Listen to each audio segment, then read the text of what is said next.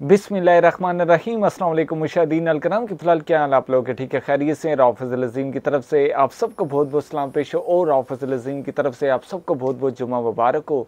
अगर आप लोग मेरे चैनल पे न्यू हो तो मेरे channel Azeem twenty seven Rao को ज़रूर सब्सक्राइब कर दें, ताकि आगे आने वाली हर अपडेट्स आप लोगों को वक्ता फ़वक्ता मिलती रहे। दोस्तों, जैसे आप लोग जानते हैं योमल जुमे ज़्यादा न्यूज़ वगैरह नहीं है। कुछ आप लोग बहुत अहम सवाल हैं, इंशाल्लाह उनके जवाब देंगे। लेकिन सबसे पहले ब्रेकिंग न्यूज़ जैसे आप लोग जानते हैं कि इमरान खान पाकिस्तान के वज़ी अजम का आज ख़ताब था कौम से, और बहुत ज़्यादा अहमियत का हमल था। इसके अंदर इमरान खान की तरफ़ से शॉर्ट से ये बता दिया कि हम लोग कोई इस्तीफ़े वगैरह नहीं दे रहे। और अभी तक के मुताबिक हम लोग स्ट्रॉन्ग तरीके से पब्लिक के अंदर दोबारा से जाएँगे। और परसों एतवार के रोज़ ये बताया गया कि पब्लिक निकले पूरे पाकिस्तान के अंदर और बताए कि हम लोग इमरान खान के साथ हैं।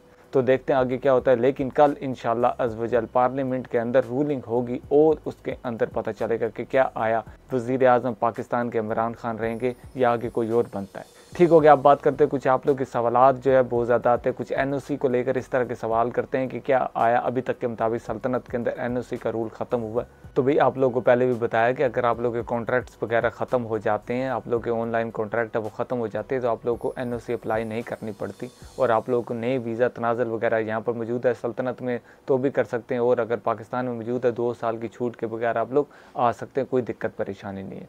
कुछ आप लोग के इस तरह के कमेंट्स आते हैं कि हम लोग अगर बहरीन से या कहीं से भी सल्तनत के अंदर विज़ट वीज़ा लेकर आते हैं इवन के पाकिस्तान से सल्तनत के अंदर हम लोग विज़ट वीज़ा लेके आते हैं, क्या वो वर्किंग वीज़ा के अंदर कन्वर्ट हो जाता है? तो भाई हो जाता है कन्वर्ट उसमें कोई दिक्कत नहीं है। अगर आप लोग का विज़िट वीज़ा सही तरीके से लगा हुआ है आप लोग के पासपोर्ट के ऊपर तो आप लोग अगर यहाँ पे अप्लाई करते हैं, कोई जॉब वगैरह आप लोगों को मिल जाती है तो आप लोग का वीज़ा वर्किंग वीज़े के अंदर तब्दील हो जाता है, कोई दिक्कत नहीं है। ठीक हो गया। कुछ इस तरह के कमेंट्स करते हैं कि जैसे आप लोग जानते हैं, ओमान हुकूमत की तरफ़ से वीज़ा फाइन्स को ख़त्म किया गया है और जो वीज़ा की फ़ीसेज हैं, उनको भी कम किया गया है।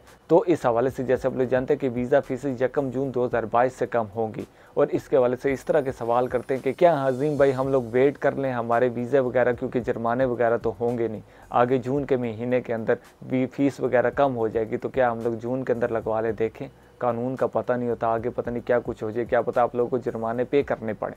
तो आप लोगों को चाहिए, अगर आप लोग की तारीख में आजकल में ख़त्म होते हैं वीज़े तो आप लोग अपना वीज़ा रीन्यू करवाएँ। ये चीज़ ना देखेंगे फ़ाइन तो है ही आप। मैं सितंबर से पहले लगवा लूँगा या अगस्त से पहले लगवा लूँगा। आप लोग ये चीज़ ना देखें।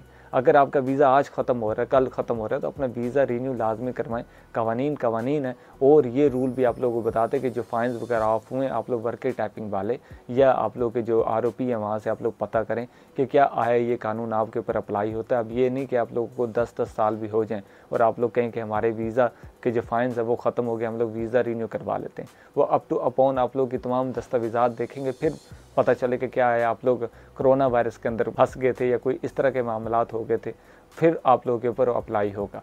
वैसे तमाम मामला आप लोग वर्क टाइपिंग वालों से आप लोग रुजू करें, जिनके फ़ाइन्स वगैरह हैं अप टू अपॉन वीज़ों के ऊपर।